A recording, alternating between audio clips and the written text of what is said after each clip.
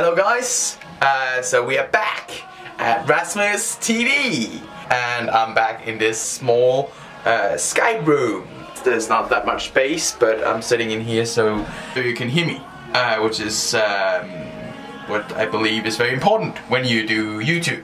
Uh, isn't it? Uh, great. Alright, so what are we doing today? It's uh, Saturday and I'm filling out the business model canvas. And what's that? Well, if you don't know that, then uh, you really need to keep on watching because it's very important when you um, are starting a new concept or uh, no matter what you're doing, then it's, uh, it's super crucial that you um, have filled this out. Um, and to be honest, sometimes when you, you run a company, then then sometimes uh, you are busy running your your company, uh, and you have all these emails and you have all these uh, thoughts about like this is how I I want to do it, and that's where business model canvas is good to give you a overview of are you are you going the right way or what value do you bring bring to your customers? What value do you bring to your um, suppliers? And are you doing um, are doing the right uh, thing? and is the business would it be easier to run if you transform it a bit? Which is very interesting in, in my mind because uh, time is everything. if you could spend your time in a smarter way and accomplish more with your business, then you uh, then you should do it, shouldn't you? Like, uh, that's the point. Uh, you can see it here.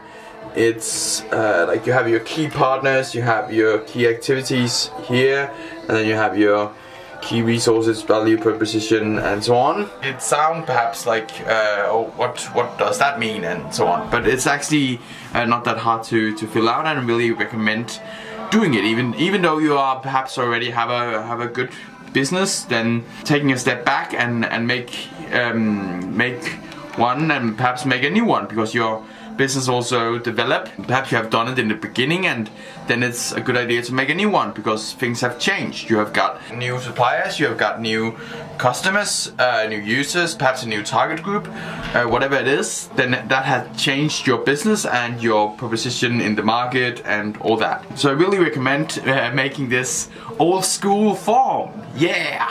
It's not that exciting to fill out, it's really like I'm not good at that stuff, I'm really not good at it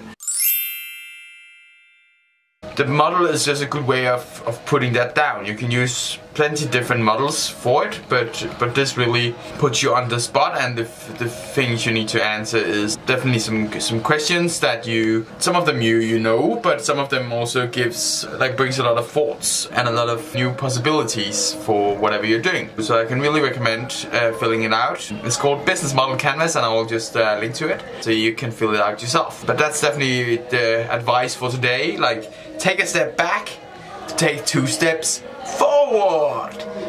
Yeah, that's what you need to do because it's healthy to take a step back and then go forward afterwards.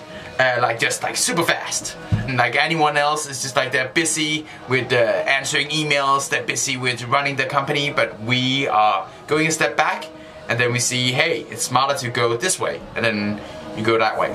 Uh, that's the idea. Because what I have uh, realized is it's pretty easy to get busy. I think that's super easy in the world we live in. There's so much information daily. Like there's lots of people emailing you about business opportunities, but remember there's always a new business opportunity coming your way.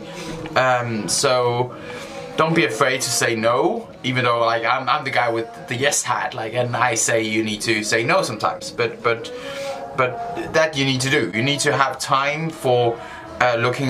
Am I actually? Am I working um, in the right pace? And I am. Could I work a smarter way and achieve more? Uh, because it's always like it's about making the most of the time you have. Uh, that I definitely have realized. Like so, so time management is 100% um, uh, the most important um, thing in my mind if I can spend five hours and achieve um, what the old me would do in 10 hours, then it's worth having a look at. Is it possible to move some things around and uh, change perhaps the, the methods I'm using and then have a better outcome?